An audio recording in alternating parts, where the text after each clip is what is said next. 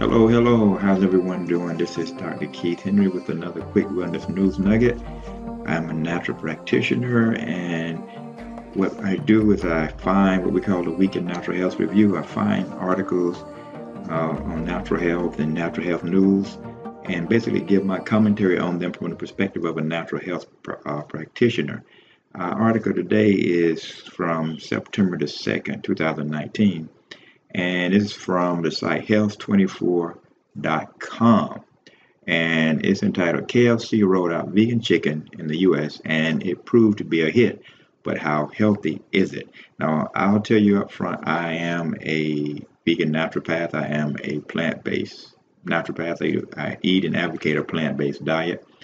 And I um so and this is I found this article to be very interesting you know, I'm sure you've probably heard about you know Beyond Meat and these vegan burgers coming out. So uh, I will tell you that I do advocate that. But I just wanted I wanted to share this article with you and give my commentary on it. Again, it's found at health24.com and it's entitled KFC rolled out vegan chicken in the U.S. and it proved to be a hit. But how healthy is it?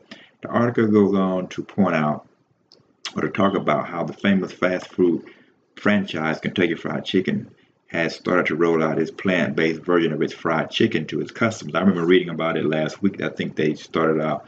Uh, the first test place was in Atlanta, and it goes on to say here that news reports announced that KFC was the first franchise to sell the Beyond Fried Chicken made by the company Beyond Meat in one single outlet in Atlanta, Georgia. Yes, as I just said, I read it. I read it another outlet, another article last week, and so apparently they tested it with their customers.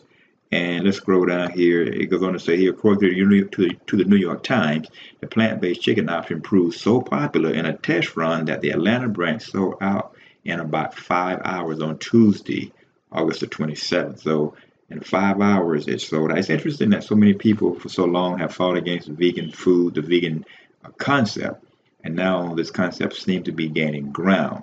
The article goes on to point out how a representative of the company stated that the restaurant sold as many plant-based boneless wings and nuggets as it as it would sell of its popcorn chicken chicken in an entire week. It goes on to say further that the uh, say national rollout in the U.S. is not quite imminent as a result of the test run and customer feedback still has to be evaluated, so global availability is uncertain. So this, then this article asks the question, but is it healthy? And it goes on to point out how Burger King was the first big fast food franchise to introduce a plant based option, their Impossible Whopper, which is also made by the company Impossible Foods. In the past, as this article points out, which is accurate, and this is one of the reasons that I, I encourage the plant based diet. The article goes on to point out how in the past, many large scale studies have been done to determine whether plant eaters or meat eaters have longer lives, and the results have been pretty conclusive. It goes on to, and they cite one study with more than 73,000 people.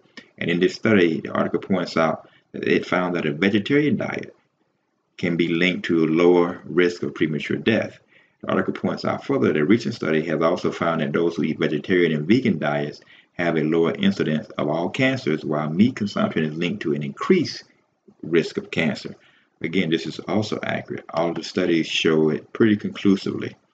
Uh, but then the, article goes on to ask, well, does this count if you simply swap your normal fare fast food for a plant-based alternative? Not quite experts. And it says not quite experts reckon.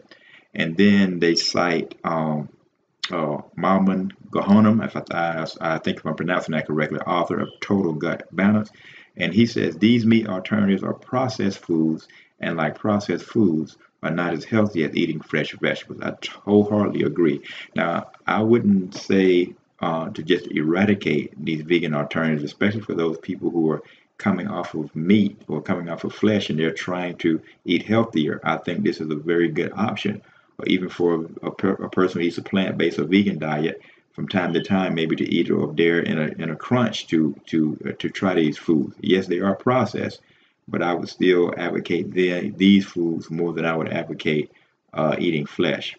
They also go on to point out in, um, in this article, and they quote Dana Simpler from the Mercy Medical Center in Baltimore, uh, that quote salt and fat are a particular concern because many manufacturers add these ingredients for the sake of flavor And she goes on to say that the addition of oils for flavor and moisture makes many of these not ideal for someone with diabetes or heart disease. And finally, the article goes on to point out that another concern is the high amount of sodium that these plant-based items tend to contain. Plant-based plant-based patties, they goes on to say, have higher levels of sodium than beef patties. Nutritionists also point out that the meatless chicken is still fried and still processed and thus can't be considered a fantastic source of protein. I do agree with them on that. Uh, I think you should try and steer clear as much as possible from fried foods. They should be eaten, if at all, very, very, very sparingly. So these are good points uh, that are being pointed out in this article. Finally, the article concludes by saying, however, we should bear in mind some of the benefits of these processed plant products.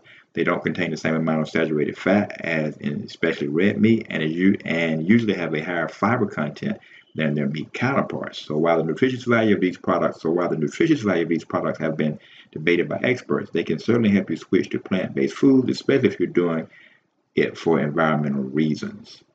So again, uh, this was, a, I thought, a pretty, a very balanced article overall. Again, it's entitled KFC rolled out vegan chicken in the U.S. and it proved to be a hit. But how healthy is it? It's found at health24.com. This is Dr. Keith Henry signing out on their latest quick wellness news nugget. Thank you for listening. Until next time, take care and stay healthy.